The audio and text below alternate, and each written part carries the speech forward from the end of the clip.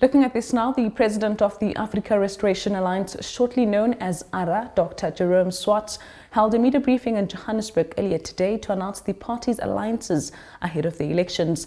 Let's take a listen.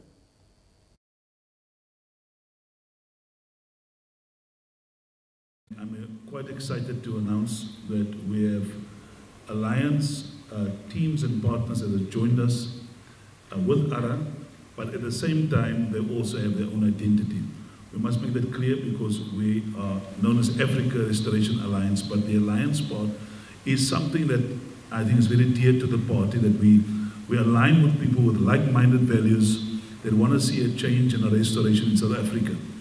Uh, in saying that, we have more than um, seven parties or eight parties or nine parties we calculated today that have either join the alliance or in process of um, um, discussing terms and conditions. And I say thank you and also to welcome to my uh, uh, presidents in their own right and in their own party. And so we honor them for that. Uh, in saying that, uh, we, I'm excited for what's going to hold for 2024. I'm excited for the growth in ARA. I'm excited for leaders that stood with um, for this nation. Now, the, the, the alliance result has come about because of one reason.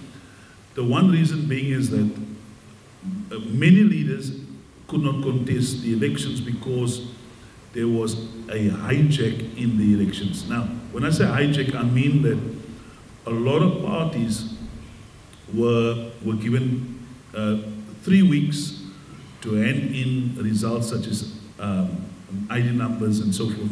And in the environment living, especially with the POPI Act, that is sometimes illegal, but who is going to give the ID number in this case? And these leaders have come alongside, as also stand with ARA and brought their members and so forth. So um, they represent uh, quite a vast numbers. Some of them range from anything from about uh, 50,000 to, uh, to 200,000 to 300,000 in their own right.